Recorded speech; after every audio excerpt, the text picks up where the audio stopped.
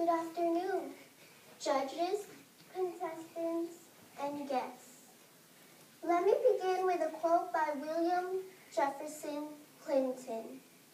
Let us all take more responsibility, not just for ourselves and our families, but for our communities and our country. I used to see America just in books and maps. Now living here in this country is like a dream come true. It was a very good decision for me and my family to leave all our loved ones behind. It is difficult to be in a foreign land, but better opportunities are waiting for us here. Not just for my parents, but most especially to us, their children.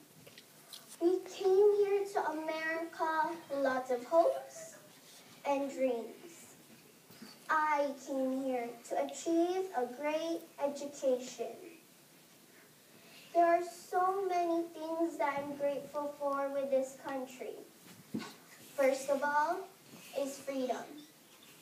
I remember a man named Patrick Henry. He said, give me liberty or give me death. Freedom is for everyone, no matter who you are and what you are.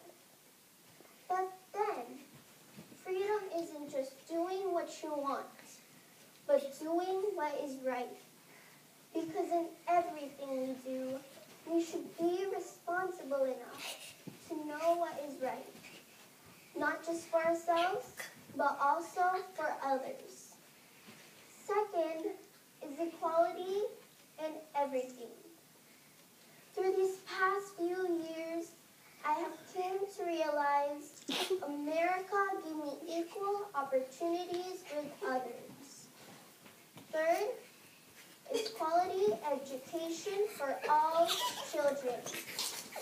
As a student, I thank all my teachers for giving quality education. I continue to learn new things like theater, academics, Every day is a challenge for me, but then every step I take leads me near to my. I want to learn more and be responsible at the same time. I also want to give help to everyone, especially to those who are in need. Because I know that I also have responsibilities to others. Being responsible for all my actions is what William Jefferson Clinton said. Let us all take more responsibility, not just for ourselves and our families, but for our communities and our country. I encourage everyone to keep on dreaming. She's good. Until they are fulfilled. So that She's my be ally. of a brighter Because I believe that we students are the future of the world and the hope of our nation. Let us work hard so that the future that our parents are dreaming for us will come true. We can do this if we just believe in ourselves. Nothing is impossible for those who believe, and nothing is difficult for those who work hard.